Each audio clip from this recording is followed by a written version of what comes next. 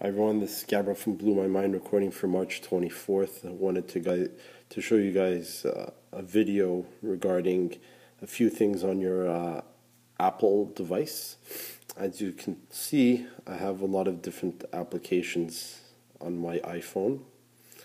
And for some of you, this may be too much in your own case, and you'd like to delete some applications. So, the way to do this is as follows at least one good way to do it is you click on settings. This is with the new iOS 5 that you go to general. and go into usage. And now you'll see at the top I have 1.5 gigs available, 12.3 gigs of used data, and now it's I'm going to show you all the different applications that are taking space. And it's in chronological order from the heaviest application to the lightest one. So this is a great way for you to delete uh, programs should you not be using them and they're occupying too much space. So for example, here let me find another program. Let's say cards. We'll go, ah, we'll keep that here. Real Piano, you just click on delete app. It asks you to confirm, you say delete app, and it's gone.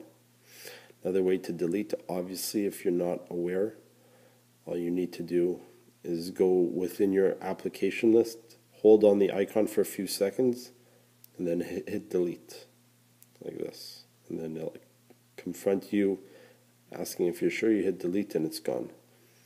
Another thing you should do if your phone is a little sluggish is to is to close um, programs that are multitasking. So all you do is you double click over here, and here's all the different programs that are running in my memory. So to close multitasking programs, hold on the icon like so, and then just keep clicking on on the icon one after the other after the other. On the Android, there's one button that closes everything. On the iPod, for some reason, there isn't. So I hope this video helped you out. If it did, please uh, give me a thumbs up and do subscribe.